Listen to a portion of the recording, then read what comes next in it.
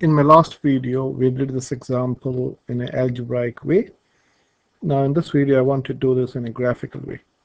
Now here you should understand this is an equation exponential equation.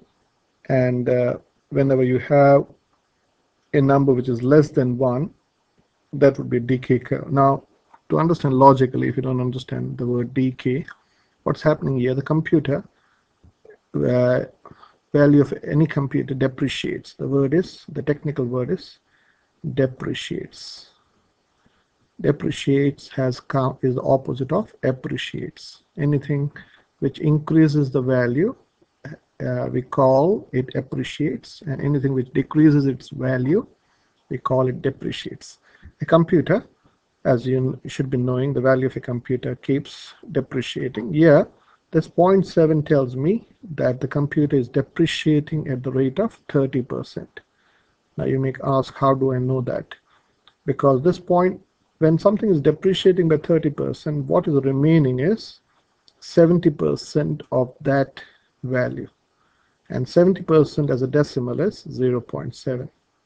So in other words, if you want to understand this uh, without uh, doing the maths process, the first year when it start the when time is zero when t is equal to zero your value is going to be 3500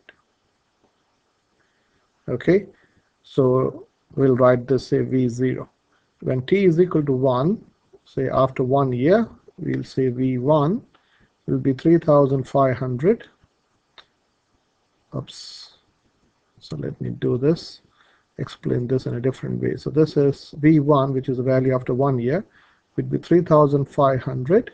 I'll show this on a table, times 0 0.7, 0 0.7 to the power 1, which is, this is nothing but 70% of this. Okay, when you're multiplying by 0.7, you're, multi you're finding 70%. So when you're finding 70% of something, it is depreciating by 30%. So whatever that number is, I don't know. So when t is equal to 2, when t is equal to 2, let me write this here. So when t is equal to 2, what would you do? T v2 will, will be 3500 times this is 0 this is after one year 0 0.7 will be after one year this will be this is the uh, okay can we say this is let us understand this in a different way. So this is the value after two years would be v1 that's the value after one year times 70 percent of that year so this is 3500 times 0 0.7 times 0 0.7 I didn't want to explain this way, but somehow the my lesson has gone like this. So this is 3,500 times 0.7 squared. And that's how the value comes here to the power 2. So if you don't want to understand the formula, how this formula works, so after three years, so let me do it here. So when t is equal to 3, when t is equal to 3, your V3 would be the value after two years, that is V2 times the 70% of that, which is 0.7, which is 3,500 times 0.7 squared times 0.7. For some of you, it may be a bit confusing, but basically you're finding 70% of uh, the value every year. So this is 3,500 times 0.7 to the power 3 0.7 cube. And that's how the formula tells me. So after three years if you directly put this and that's if you have seen my previous video this is how we did after three years for this. Okay now how to do this on a calculator? So uh, this is my calculator. Uh, menu you go to your table menu okay so now I'm going to type in 3500 times 0.7 raised to x. So your x is your t and your y1 is your v okay? And you set press F5 which is set. So they're asking you where where do you want to start? So I want to start at zero years and I want to finish at 10 years okay and go execute and then go to table. So let me explain this table. So it tells me when it is zero years when t is zero or x is zero the value is 3500 oops. When when it is when it is one year it is 2450 I'll explain that. You can do this on a calculator. 3500 times 0.7 would give you this number so after two years it is 1715 that is you can do that on a calculator which is 3500 times 0.7 squared will give you this.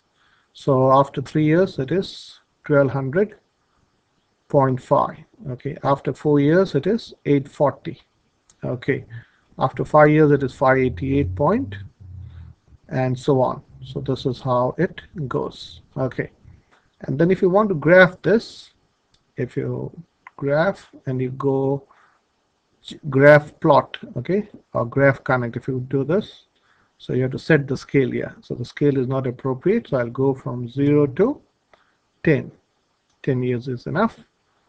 And I want to your Y scale should be from 0 to 3500 so I'll go say 3600 and a scale of 500 would do and then you go table and G connect so this is your graph can you see the graph this is called the decay curve so when it is 0 it is 3500 okay and the value goes down and almost becomes 0 after a number of years. Now you go to your graph menu to do these questions. So I will have to scroll like this. Okay, and then go and draw a graph. So this is your graph.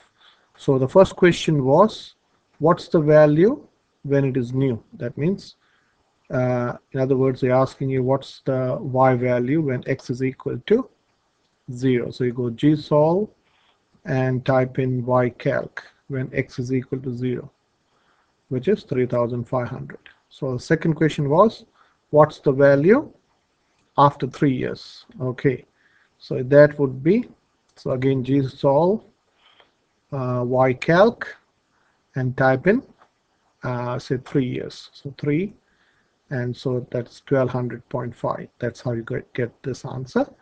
And the third question was when would the value of the computer go below 500 so I'll find exactly 500 first and then I'll answer it. So this is uh, gsolve and I want to find xcal because we want to find the time. Okay? No so I exit draw gsolve I want to find xcalc so your y value is 500 so we want to find what's after how many years would the computer become exactly 500 so it tells me it becomes exactly 500 at 5.455 blah blah years now this is use your logic this is closest to five and a half year or 5.5 years so here I can tell the answer that after five and a half years I'll only write after five and a half years the computer will go below uh, below 500. So let me explain that in a table form. If you go to table, okay, so set, and I'm going to 0 to 10 at a scale of 0.4 just to explain that. Oops. So I have to scroll like this. Okay. And uh, draw table. Okay, so when it is 0 years, it is 3000. So after six months, it is 2900 28.8.3 and so on so let me go at 5.5 years so when it is 5.5 years it is 492.16 that's this is below $500